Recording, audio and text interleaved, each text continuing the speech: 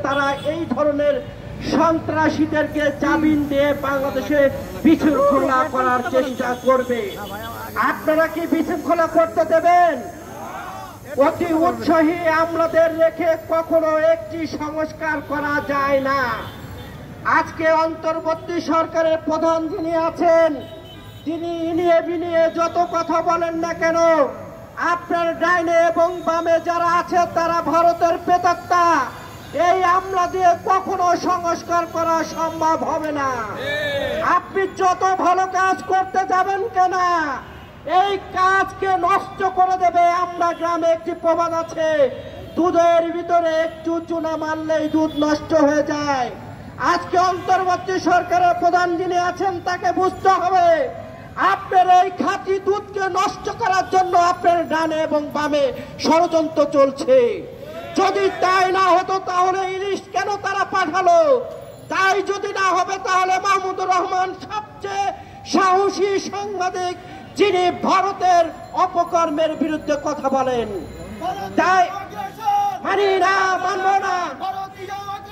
মানি না, মানব না। আমরা দেখলাম এই রানাকে আবার তারা জামিন দিয়েছে।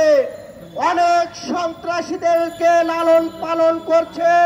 এবং আওয়ামী লীগ এবং ভারতকে খুশি করার জন্য ডক্টর ইউনুস সাহেবের ডাইনে এবং বামে বিভিন্ন ষড়যন্ত্র করছে।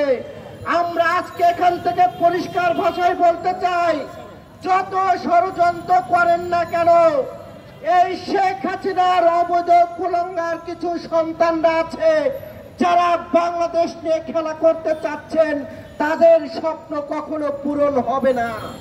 আমরা যদি বেঁচে থাকি, আমাদের রক্ত যদি লাগে, আমাদের জীবনও লাগে, আমরা প্রতিবাদ করব। আমরা একাধিকবার কারাগারে গিয়েছি, একাধিক মামলার মিথ্যা আসামি হয়েছি।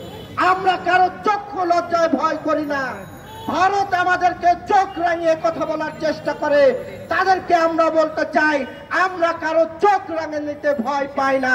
আমরা বীরের জাতি, বীরের মতো প্রতিবাদ করব এবং বেঁচে থাকব এবং এই শেখ হাসিনার মতো শেখ হাসিনার যারা কুলাঙ্গার আছে, তাদেরকেও আমরা পাঠাতে বাধ্য করব।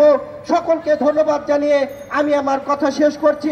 দেখা হবে রাজপথে, কথা হবে স্লোগানে। আল্লাহ হাফেজ।